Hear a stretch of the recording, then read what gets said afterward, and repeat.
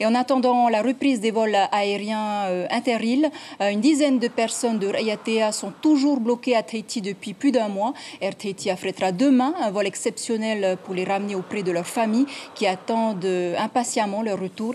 Écoutez le témoignage d'un habitant de RIATA qui attend le retour de sa maman qui est malade et de sa femme au micro de notre correspondant Julien Vescou. On entend que certaines personnes seront rapatriées dès demain, euh, avec euh, des priorités euh, aux évassanés. Mais apparemment, ma femme et ma mère, elles ont été évassanées, n'ont été contactées par personne jusqu'au jour d'aujourd'hui.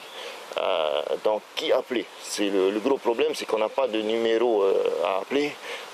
ma femme a appelé le, service, euh, le ministère de la Santé, euh, ils se renvoient la balle en nous disant que ce n'est pas eux qui s'en occupent, mais c'est le commissariat. Le commissariat, euh, personne n'a de liste de qui que ce soit, puisque à chaque fois qu'il y a quelqu'un au téléphone, on lui redemande un numéro et un contact pour l'inscrire sur une éventuelle liste.